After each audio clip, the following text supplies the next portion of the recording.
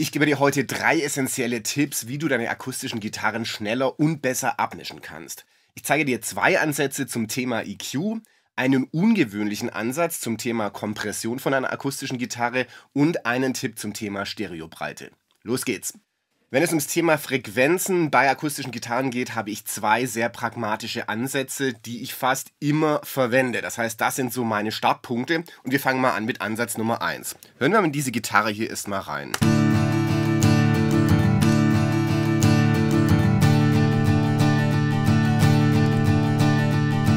Die Gitarre wurde mono aufgenommen mit einem ordentlichen Mikrofon und in einer akustisch optimierten Umgebung, aber sie klingt so ein kleines bisschen dumpf und ähm, sie klingt noch nicht so super spannend. Deswegen fange ich jetzt an mit Ansatz Nummer 1 zum Thema EQ und da konzentriere ich mich hauptsächlich auf drei Frequenzen. Zum einen ist das der Bereich um die 80 Hertz circa. Da hast du einen schönen bauchigen Sound meist von der Gitarre. Und wenn du hier ein bisschen anhebst, bekommst du diesen ja, satten, warmen Sound der Gitarre und kannst ihn besser rausholen. Die zweite Frequenz ist um die 400, 500 Hertz. Das ist bei vielen Instrumenten, teilweise auch beim Gesang so. Da klingt die Gitarre oft ein bisschen mumpfig. Und der dritte Bereich ist so ab 5000 bis hoch bis 10.000 Hertz. Da hebe ich die akustische Gitarre oftmals, das kommt natürlich immer individuell ein bisschen drauf an, ordentlich an. Da bekommst du noch diesen Pop-Glitzer und kannst auch die Anschlagsgeräusche ein bisschen besser vorholen. Ich lasse die Gitarre jetzt erst nochmal so laufen und schalte dann den Equalizer zu.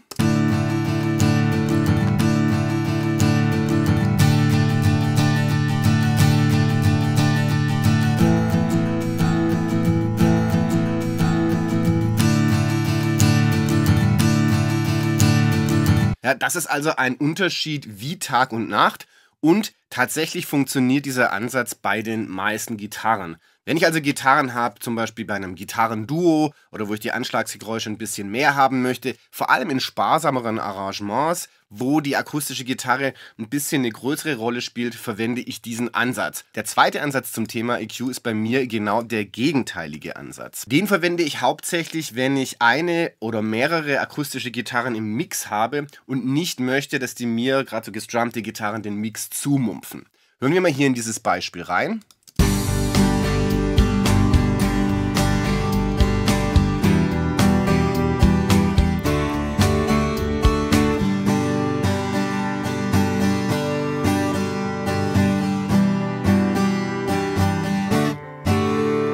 Der Trick bei diesem Ansatz, und das ist, was sich viele nicht trauen, ist die Gitarre in den Tiefen, wo wir sie jetzt gerade angehoben haben, massiv zu beschneiden.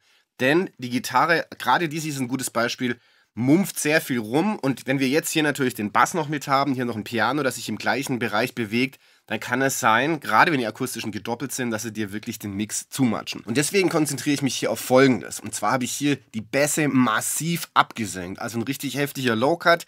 Ich habe hier auch nochmal, wie ich es bei der anderen Gitarre auch schon gemacht habe, um die 4500 auch nochmal abgesenkt. Das heißt, du siehst schon, die Gitarre ist wirklich sehr, sehr dünn hier bis 500 Euro, wollte ich schon sagen, 500 Hertz.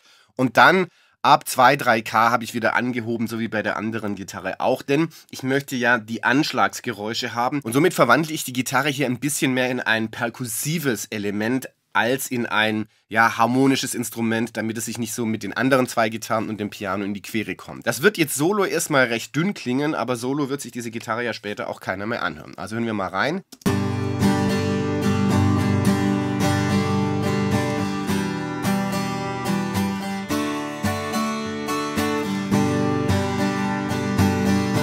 Hörst, die Gitarre hat hier wahnsinnig viel Energie hier unten, gerade in den Tiefmitten und in den Bässen. Das können wir bei so einem Mix jetzt hier so nicht laufen lassen, dann müssen wir beschneiden. Jetzt pass mal auf, wenn wir das im Gesamtmix anhören, wie viel Mumpf du durch diese EQ-Bearbeitung bei der Akku rausziehen kannst.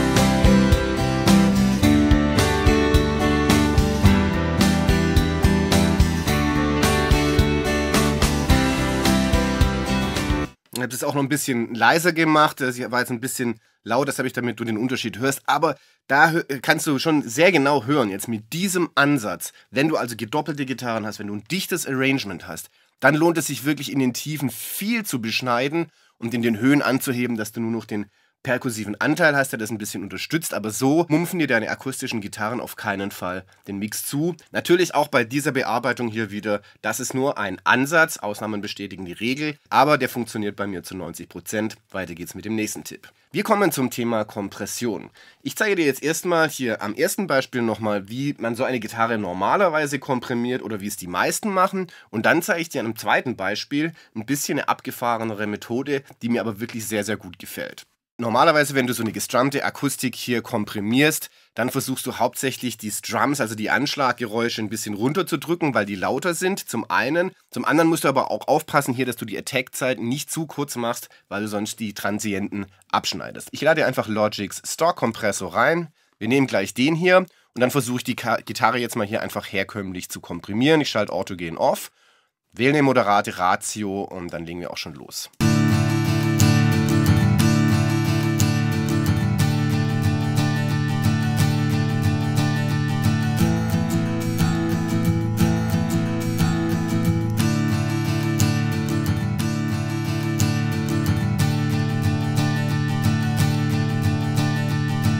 Okay, das funktioniert schon ganz gut. Jetzt erstmal, du siehst, dass er so diese Anschläge ein bisschen runterdrückt und dass es nicht so extrem schwankt, weil er hier auf die Einsatz, auf die Downbeats immer relativ reinhaut.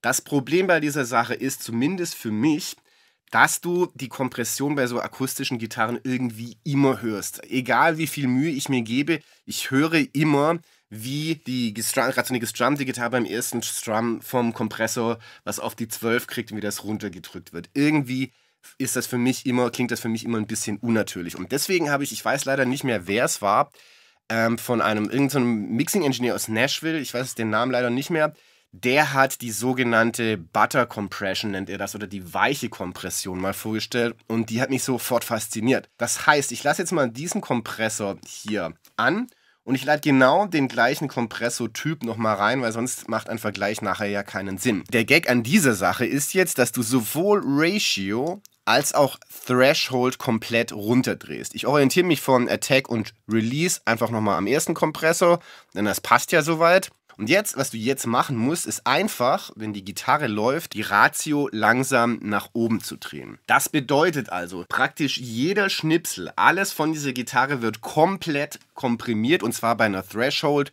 von minus 50. Komplett alles. Allerdings werde ich die Ratio nicht sonderlich weit hochdrehen, sondern nur ein kleines bisschen, weil sonst smash ich ja sozusagen diese Akustikgitarre zusammen. Und dann wirst du hören, hast du eine viel weichere Kompression, das heißt, du hast den gleichen Effekt, die, der Dynamik, die Dynamik-Range wird ein bisschen eingeschränkt, aber viel unauffälliger und das gefällt mir viel besser. Also ich drehe einfach nur die Ratio jetzt langsam nach oben.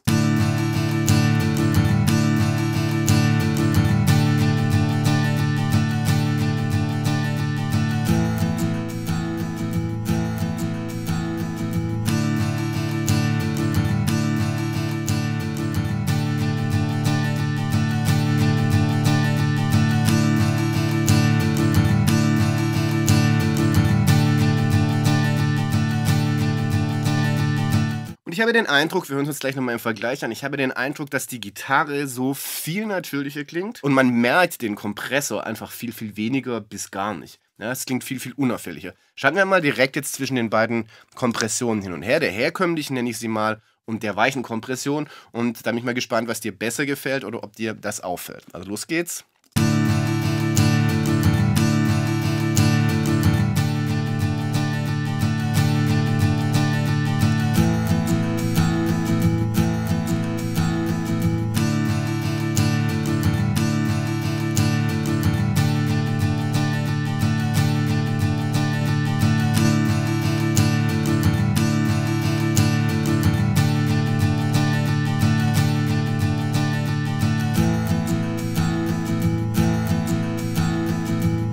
Was meinst du? Ist das totaler Quatsch? Hörst du überhaupt keinen Unterschied oder hörst du so wie ich sehr wohl den Unterschied? Und diese Art der weichen Kompression kommt hier für gestrummte Akustikgitarren viel besser. Beim nächsten Tipp geht es ums Thema Stereobreite. Wir hören uns mal dieses Beispiel hier an.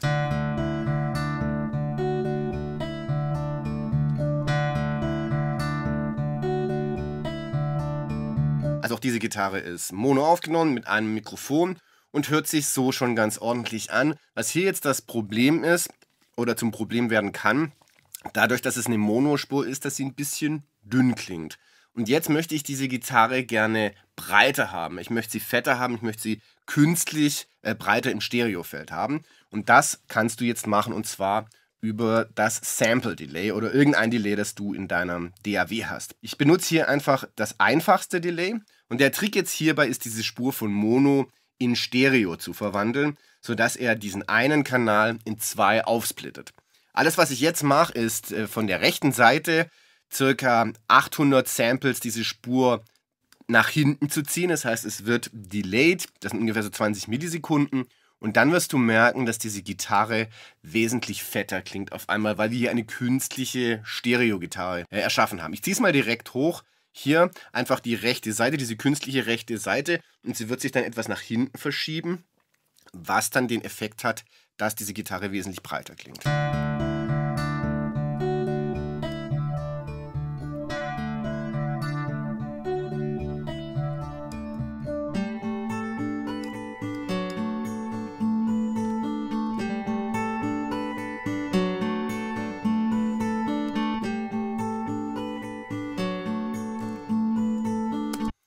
Siehst also auch hier mit diesem wirklich sehr, sehr einfachen Trick Unterschied wie Tag und Nacht. Und so kannst du aus einer etwas dünneren Mono-Gitarre sehr schnell eine etwas breitere, fettere akustische gezupfte Gitarre machen. Was du jetzt hier gerade am Anfang bei den ersten zwei Tipps mitbekommen hast, ist, und das finde ich bei der akustischen Gitarre immer am wichtigsten, die Arbeit mit dem Equalizer. Das ist enorm, was du da an Verbesserungen rausziehen kannst. Und diese Arbeit mit dem EQ ist natürlich nicht nur wichtig für akustische Gitarren, sondern auch für den Gesamtmix. Und bei einem Gesamtmix gibt es sechs Frequenzen oder sechs Frequenzbereiche, die hauptsächlich in deinem Mix Probleme machen. Wenn du wissen möchtest, welche Frequenzbereiche das sind, dann empfehle ich dir mein PDF, sechs Problemfrequenzen. Das habe ich dir unten im ersten Kommentar angepinnt. Da kannst du dir das runterladen. Da erkläre ich dir diese sechs Frequenzbereiche genau und auf was du achten solltest, wenn du mit ihnen im Mix arbeitest. Jetzt interessiert mich natürlich deine Meinung. Haben dich diese Tipps hier ein bisschen weitergebracht? Haben die dir geholfen? Oder wie misst du deine akustischen Gitarren generell ab? Schreib mir das mal gerne unten in die Kommentare. Wenn du dich für das Thema Akkuklampfe interessierst, aber selber nicht Gitarre spielen kannst, dann empfehle ich dir dieses Video. Da zeige ich dir meine Lieblingsakustische Gitarre von Native Instruments und wie du sie extrem realistisch programmieren kannst. Ich bedanke mich jetzt bei dir ganz herzlich fürs Zuschauen, schicke dir viele Grüße aus Alicante und wir sehen uns beim nächsten Video. Bis dann!